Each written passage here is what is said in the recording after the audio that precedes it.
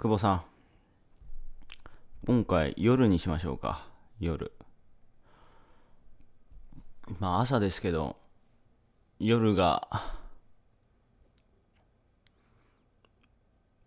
終わって朝が始まって朝が終わって夜になってっていうね、まあ日がこうぐるぐる回るんですけど、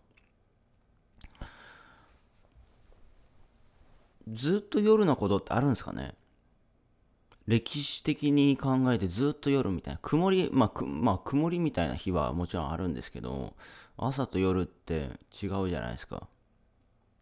うん。ずっと夜っていう日はあるのかなっていう。ないっすよね。うん。まあ結構いつも思うんですけどまあ僕はねややってきたんでやってきたから今あるしもしやってこなかったら今ないんですよ。で、やってきた、やってきて、まあ今の人生を手に入れて、で、お客さんはやらやらなくてあだこで言うんですよね。やればいいのになっていうね。うん。やって人生変えた人からすると、なんでやらないのかなみたいな。うん。で、なんかやれない、なんかやれない理由をあだこだ言うんですよ。え、どっち？みたいな。人生変えたいの変えたくないの変えたくないんだったら変えなくていいんじゃないかなっていう。稼ぎたくないんだったら稼がなくていいじゃんっていうね。だってやれない理由を述べ、なんか並べてもしゃあなくないですか？なんかそれそれで収入変わるんですか？人生変わるんですか？やれない理由はあだこで言っても。まあ言う、ね、やれない理由はあだこで言うのは自由なんだけども、どっちよと。稼ぎたいのか稼ぎたいのかなどっちよと。稼ぎたくないんだったらそのややれない理由はあだこだ言って正当化すればいいと思うし。でもそれをどんだけ正当化したとしても変わんないじゃないですか。いやそれで収入上がるんだったらすげえ言えばいいと思うんですけど。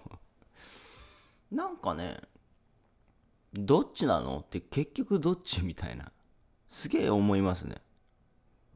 じゃあやるなよっていうね。夢見んなよみたいな。やるんだったらやる、やらないんだったらやらない。それでいいじゃないですか。遊ぶんだったら遊ぶ、寝るんだったら寝る。それでいいじゃないですか。うん。うん。なんか、白黒、そこははっきりした方がいいと思うんですよね、早めに。そこは。時間ないんでね。成功したいのか、成功したくないのか。収入上げたいのか上げたくないのかそれは白黒はっきりつけた方がいいと思います。ただはっきりつけてねいややっぱ私には無理ですってはっきりつけたとしてもお金は必要っていうのは間違いないですからね。何するのもお金は必要ですから。そこは考えてください。私にはお金が稼げない。そういうふうに白黒はっきりつけたとしてもお金は必要ですから。何するにしても。うん。いってらっしゃい。